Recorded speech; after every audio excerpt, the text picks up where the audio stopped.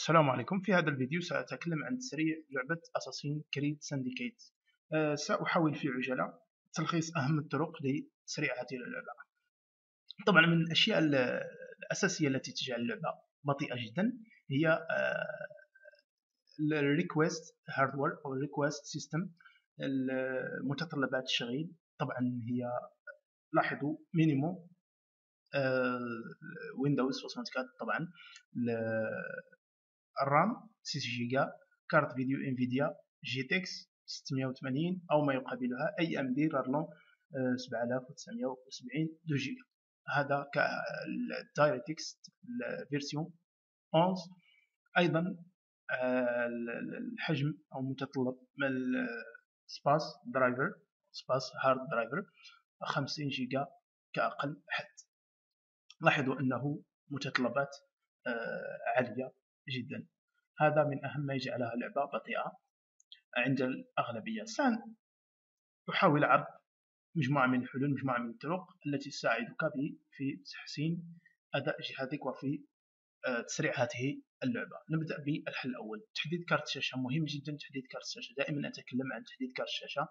هذا هو آخر إصدار. ومن هنا بإمكانك ضبط إعدادات آه، كارت الشاشة ثم تسريعها.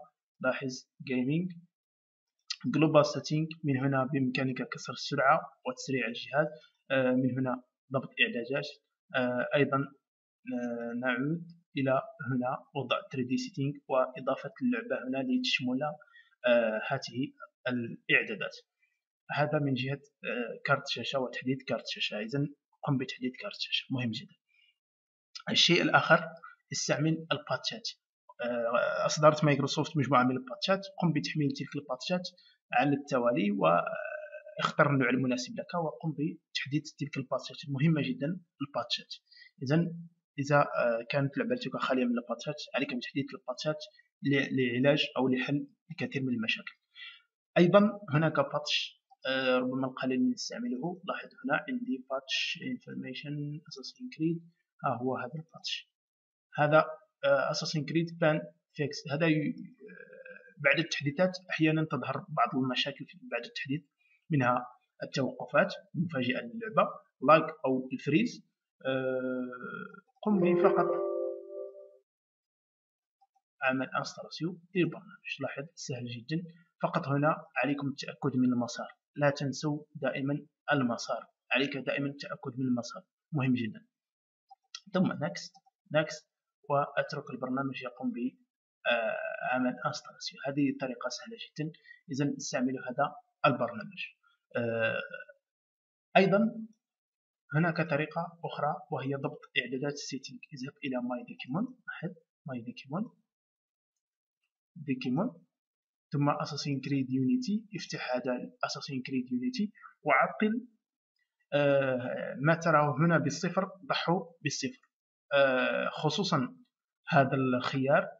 أيضا ال SSAO هذا الخيار. bloom أيضا أعطله. anti-aliasing mode هذا أعطله أيضا مهم جدا. هذا أعطله. هنا المهم ما تراه هنا بالصفر ضعه بالصفر. أيضا هنا ضع 50 أو 60 آه، هنا كأعلى أعلى حد عليك بوضع 720 fois 1280 كأعلى حد. هذا بالنسبة لل resolution آه، هذه أقصى حد وإلا ستصبح اللعبة بطيئة جدا. إذا إذا قمت بتحديث كارت الشاشة آه، وضع الباتشات قمت بضبط الإعدادات كما رأيت آه، تسريع أو ضبط إعدادات الكارت كارت الشاشة استعمال ال patch أو patch المصلح. إذا استعملت هذه الأشياء ولم تنفع معك فاعلم أن جهازك أقل من أن يعني يشغل هذه اللعبة. وآخر شيء هو أنك آه، تضع أو إعدادات الجرافيك في أقل حد ممكن أقل حد ممكن وسنوضح الطريقة هذا هو الضبط الصحيح. آه، في عجلة أعيد. إذا وجد أحدكم أن اللعبة لا زالت تتوقف وما يسمى بال freeze فعليه بالدخول إلى هنا. ثم جرافيك. لاحظ هذا هو. أين هو. option ثم إلى إعدادات الجرافيك. وهنا آه، من المفروض تكون هكذا.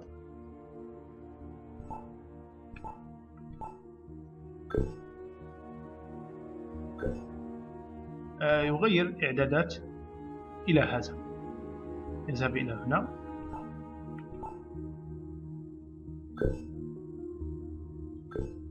هكذا. ثم هنا أقصى حد. هكذا. يحاول ضبط الإعدادات على هذا الشكل حتى لا يتعرض لي اللاج. آه هذا هو أقل آه حد عندي في اللعبة. يحاول أن يلعبها في هذا الريزوليشن الضعيف آه لأن اللعبة حقيقة تحتاج إلى عتاد قوي ويحاول أن يتكيف مع هذا الوضع. لاحظوا ليس بالوضع يعني السيء إلى هذا الحد. لا زال بإمكانه أن يلعب اللعبة. آه هذه هي هذا آخر شيء يستطيع أن يفعله اللاعب إذا احتاج إذا آه أراد أن يتخلص من اللاج والفريز في اللعبة لا, لا حلول أخرى. آه إذا كان أعجبكم هذا الفيديو حاولوا دعمي باللايكات والتعليقات. إذا آه لم يفيدكم لا مشكلة. أستطيع أن أقول دمتم في أمان الله. السلام عليكم.